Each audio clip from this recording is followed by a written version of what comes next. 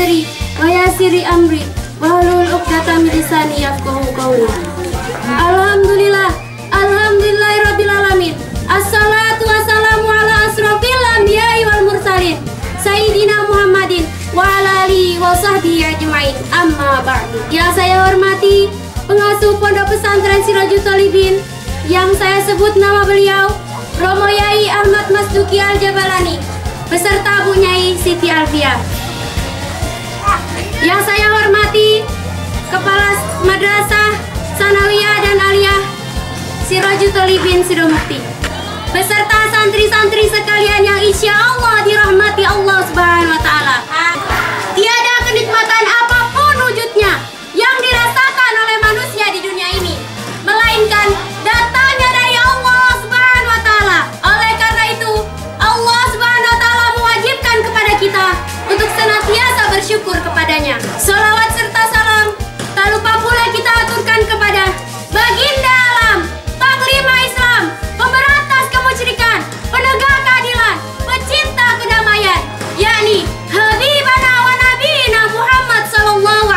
alaihi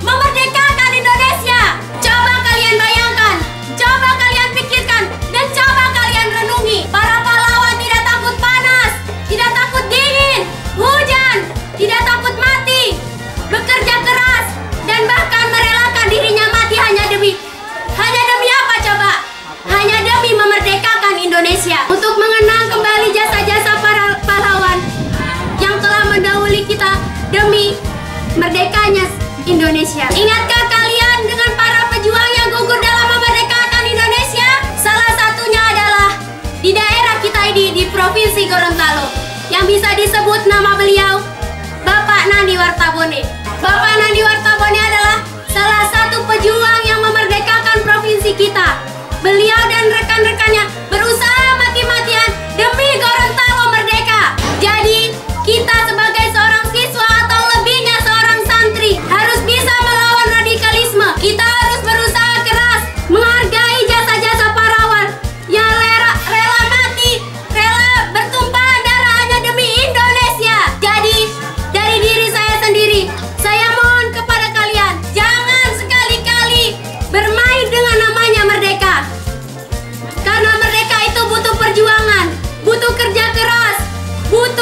pertumpahan darah.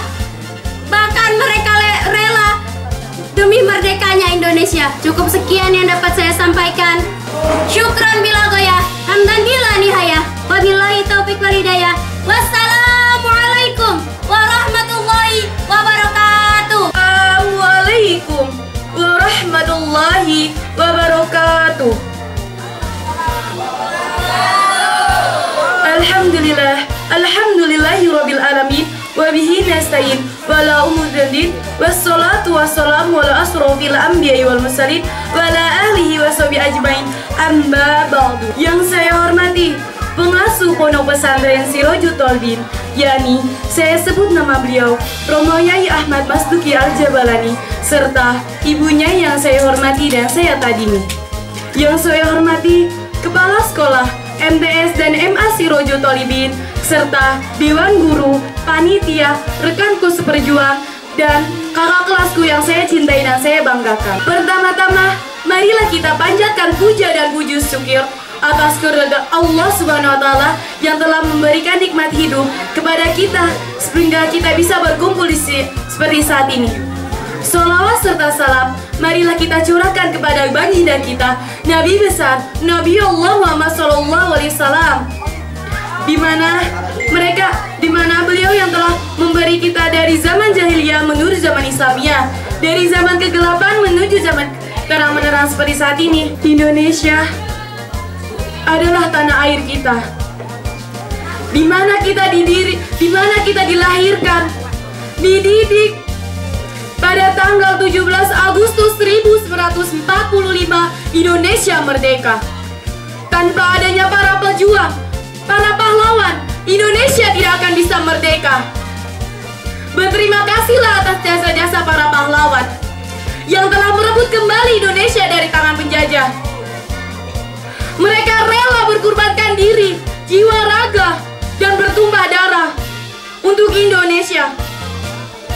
Bukan hanya para pahlawan, Indonesia presiden pertama pun berpikir bagaimana dan dan mati-matian bagaimana Indonesia bisa merdeka.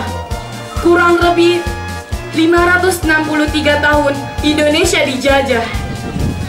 Seandainya Indonesia belum merdeka, pasti kita tidak bisa berkumpul sebagai generasi penerus bangsa, generasi muda. Kita sebagai generasi muda, generasi penerus bangsa harus bisa bangkit dan merdeka, merdeka, merdeka. Sekian dari saya. Mohon maaf apabila ada perkataan yang kurang berkenan di hati Anda, mohon dimaafkan. Bila ada sumur di ladang, boleh kita bertumpah mandi. Kalau ada umur panjang, boleh kita berjumpa kembali. Wabillahi taufiq walidayah. Wassalamualaikum warahmatullahi wabarakatuh.